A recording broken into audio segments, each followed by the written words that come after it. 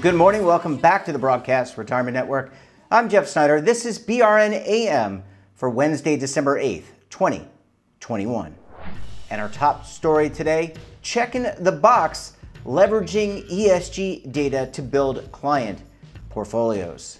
Well, joining me now to discuss this and a lot more, John Faustino is the head of FI 360 for Broadridge. John, great to see you. Thanks so much for joining us on the program this morning. Great to see you, Jeffrey. Thank you so much for having me. And we're going to talk ESG and sustainability. Let, let's uh, let's talk about the interest in this really important topic. have you seen it explode over the past year, several years? We have. I'd say in the last 12 to 18 months, we're seeing a lot more interest from our advisor software clients and our advisor designees asking us about education, about help with investment policy statement creation, and also asking for data in the software to help them identify ESG investments. And what do you think has driven this this interest? Is it from the plan sponsors? Is it just you know participants clamoring for it? Is have you got any any idea as to what is really take why this has taken off? Yeah, I, I believe it's really grassroots fundamentally. If you look at just where the focus is in the United States in 2021 versus 2020. There's a lot more concern, there's a lot more interest in environmental, social, and governance issues. So it absolutely is coming from plan participants and also individual wealth clients. So FI360 not only provides solutions for those advisors that work with 401k plans, um, but also foundations and endowments and also wealth accounts. And we're seeing an increasing interest from uh, wealth advisors in those solutions. And they're telling us that individual wealth clients are asking more about these investments in their portfolios today. Yeah, let's let's talk about the new Department of Labor proposed rules. It seems, uh, as I read them, you can correct me, of course, if, if I'm wrong, that it really opens the doors to including these factors as tools to evaluate investments. How, how does this smooth the way, or does it smooth the way into the American retirement system like 401k, 403b, governmental 457?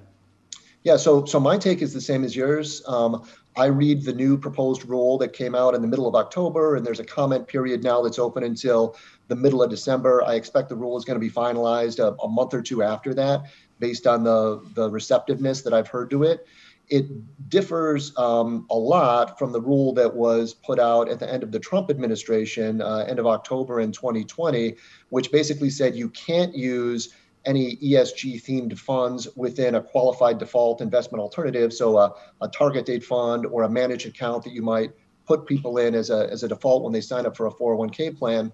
But it also reinforces the fiduciary requirements that ERISA lays out for plan sponsors to look at the pecuniary interest, the, the risk return characteristics of funds first and foremost. So, from my perspective, it, it, does a nice job of balancing both the ability to utilize ESG, but not um, uh, so not not demonizing it, um, but really requiring those fiduciary responsibilities to be there first and foremost. So it really becomes about like a Venn diagram intersection of the good fiduciary characteristics and then you know ESG or, or other characteristics that, that might be attractive to participants as well.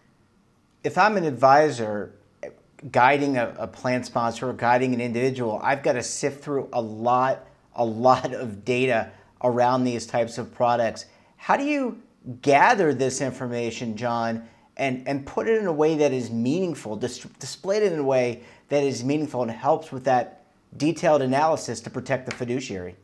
That's a that's a real challenge, and there's about 15 or 20 known ESG providers to me. There's probably more than that out there. And one of the things that's really interesting, there was a study done by State Street in 2019 that I think is still relevant today, and it showed that the two biggest providers, or the two most well-known providers of the ESG data, MSCI and Morningstar Sustainalytics, had a very low correlation between both of them. It was around 0.53. You have to be correlated at 0.7 for it to be really meaningful. So, what that tells me is that if you look at one single ESG provider's data, you're biased towards their view, whatever that is. Um, so that's a that's a real challenge that there's not consistency yet. The new SEC chairman, Gensler, is expected to require some more ESG reporting among American companies. And eventually, I believe this is going to be standardized. But the reality is that it's not today. So the approach that FI360 has taken, we actually added some ESG data points in our software in August. We're working with a firm called Owl Analytics, and they take a wisdom of the crowd approach. So they look at multiple providers and what they're saying about ESG exposures. Um, so you're getting kind of, you know, the, the middle of the road, the consensus view, as opposed to one that's slanted towards one firm's perspective or, or another's. But that is uh, absolutely a big challenge. Yeah, and just as a follow up to that, I mean, you, you compare what's happening here in the States to what's happening in Europe, but collect, and, and Europe is by far ahead of the US in terms of adoption. But consistently, what you hear is the, the concern about transparency and reporting. And looks like there's a little bit of ways to go. But I, I, I, tend to like what you're describing, which is you get the wisdom of the crowd, you bring it all together for the analyst, the advisor to really look through and sift through. Yeah, that's great. Thank you. Thank you for saying that. And you know, I view ESG, it's evolving from my perspective like other factors are. So uh, style, size, momentum. I think ESG is going to be just another set of factors that folks look at. One of the other interesting things that that we've done is look at those funds that have ESG in their name, um, and then compared them to the consensus ESG data that we have. And most of the funds that have ESG in their name, they do a good job of including ESG exposures in their funds, but there is a small minority that don't. Um, so there is some greenwashing out there where there's firms that are using ESG in the name of their fund to try to, you know, get assets in it that aren't really following, um, I guess, industry recognized uh, exposure tactics. So that's something that folks need to be careful of, and that's why you know you can't judge a book by its cover. You have to look at some underlying criteria when you're making your selections if you're acting in a fiduciary capacity. Yeah, really, really important. Well, John, I need to take a very quick break. Quick break, excuse me. When we come back, we'll talk about how ESG analysis dovetails nicely into fiduciary responsibility. You're going to want to stay tuned right here on BRN AM.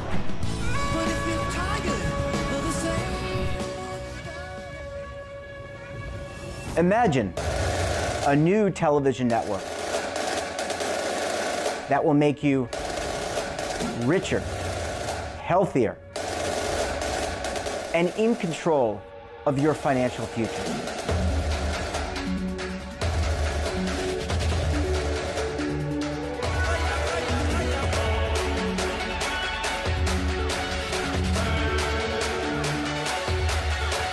This network is for the policewoman in Nashville, Tennessee, the baker in Dubuque, Iowa, the teacher in Lexington, Kentucky.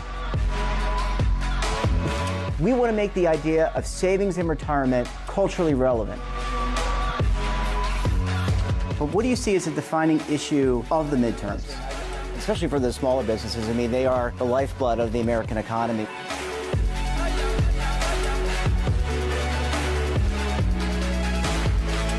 Featuring exclusive interviews, current affairs, and docu-series. 33 yeah. years old, you retired early. The philosophy is money only matters if it helps you live a life that you love. But you got to start thinking about retirement as soon as you get in. The Broadcast Retirement Network will drive very high engagement with premium partnerships. So this isn't retirement and savings for your parents or grandparents. This is for all Americans. And we're going to change the way you think about money.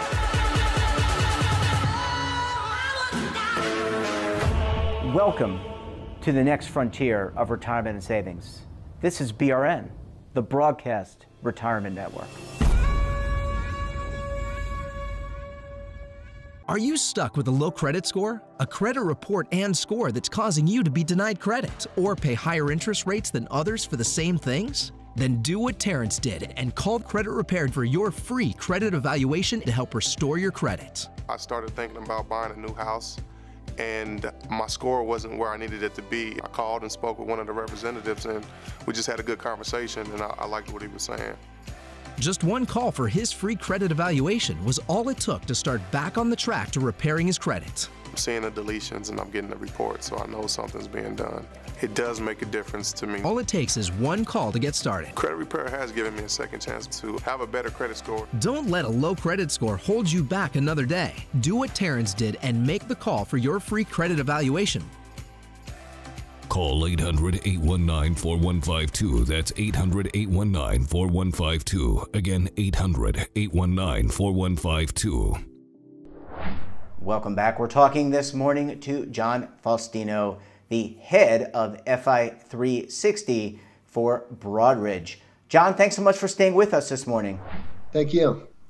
All right, so let's let's talk a little bit about. I want to kind of dovetail into fiduciary responsibility, and and I think you can make the case, and you tell me if I'm wrong, that reviewing ESG and and provide performing an analysis using tools such as what Broadridge has produced actually fits in very nicely with your fiduciary responsibility, whether you're an advisor or a sponsor of a large retirement plan.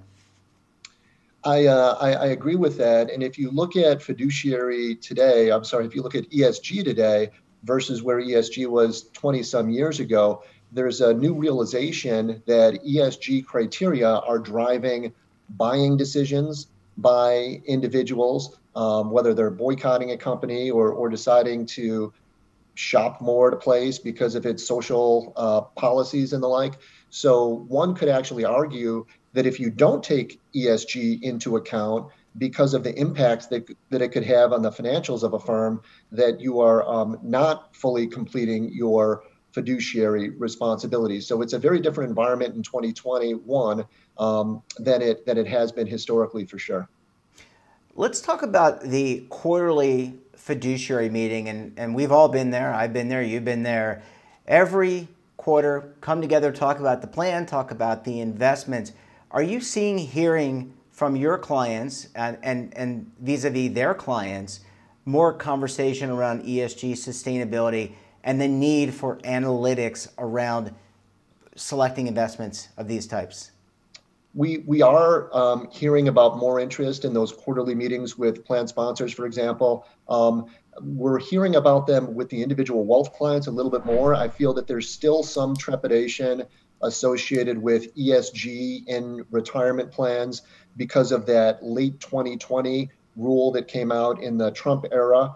Um, so that made folks, I think, a little bit gun shy. But I believe, you know, with this with this new rule, if it is implemented along the lines that it's been um, that it's been uh, proposed here, there's a there's a likelihood that we're going to see a lot more ESG-like flows into retirement plans. Uh, yeah, I mean, I th- certainly think, and you can tell me what you hear as well. Anecdotally, I've heard that you know participants of all generations are interested in um, having access to some type of ESG option, and that's that's really that's really a broad uh, topic, right? I mean, ESG means different things to different people, but I do believe that people are interested in these types of investments. But with putting that in your plan comes a lot of due diligence and a lot of uh, documentation to protect yourself from uh, litigation down the road. That's right, and that due diligence and those requirements in a in an ERISA covered plan in a 401k plan is higher than it is in a, a, wealth account where you're acting as a fiduciary or a foundation and endowment account where you're acting as a fiduciary. So if uh, if an individual investor in their wealth account says, you know, hey, you know what, Jeffrey, I would like to invest in this company because I believe in what it's doing socially. You have to follow that individual's, um, you know, lawful request and say, okay, there might be some um, impacts if there were to the expected return, but you have to follow that client's uh, requests in a 401k plan, you have to put the risk return characteristics first and foremost. So the bar is higher in an ERISA covered plan than it is in a wealth account or in a foundation and endowment, which is why we've seen the adoption a, a little bit slower uh, on, on the uptake side in the 401k plans.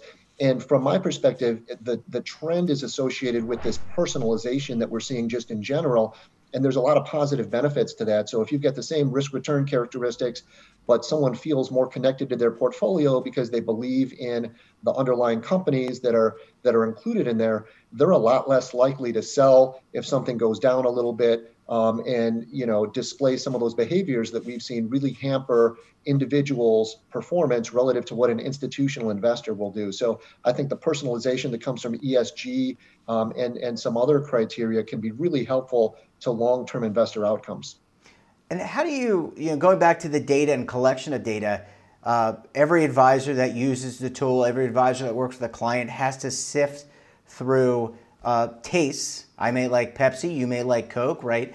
But they, they've got to sift through that. How do you capture all the data and provide a different analysis based on each person's taste? That's a that's a great question. And what we do today in our solutions, Broadridge FI360 solution, uh, FI360 solutions, we include only pooled investment vehicles. So we've got mutual funds, exchange traded funds, and collective investment funds would, would be relevant on the retirement side. Um, and we include an E score, an S score, and a G score. So environmental, social, and governance overall for a fund, and then an overall ESG score. So we allow for a little bit of customization in terms of searching for funds that have specific uh, exposure to environmental or social or governance. In the future, we expect to include even more data points. The, the vendor Owl Analytics that we work with has another 12 underlying criteria. So we expect some more nuanced searches to be available in the future. But right now, we allow for it at that kind of higher ES and G level so that you can um, you know, work, work a little bit within those constraints. Well, I think like most everything else, it's it's evolving and it continues to evolve. John, we're going to have to leave it there. Great seeing you. Thanks so much for joining us, and we look forward to having you back on the program again very soon. Thank you so much, Jeffrey. That wraps up this episode of BRNAM. Have a topic of interest, someone you think we should talk to, drop us a line. And don't forget, for all the information in retirement markets, technology, personal finance, so much more, check out today's edition of our daily newsletter, The Morning Pulse. Want to search our archives or check out our latest content? Visit our streaming partners Roku, Amazon, Samsung, and over 100 more. We're back again tomorrow. Until then, I'm Jeff Snyder. Stay safe, keep on saving, and don't forget roll with the changes.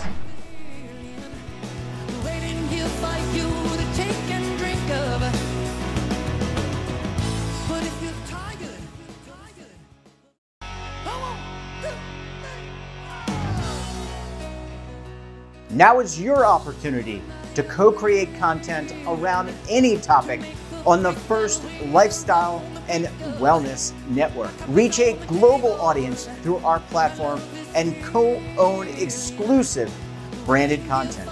All of our programs are available on demand and also as audio only podcasts, so you can take us on the go. Broadcast Retirement Network, available anytime, anywhere, and on any device.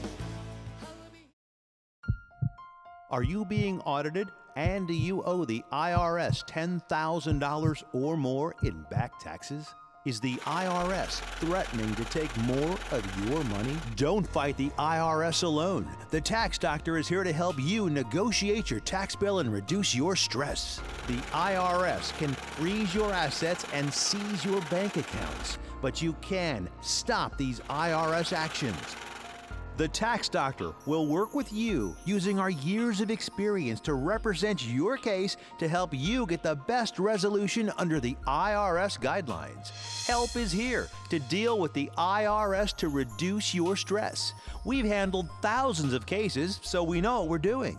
If you owe $10,000 or more in back taxes, do not call the IRS alone. Call a tax doctor now for a tax emergency analysis. Call 800 224 6439.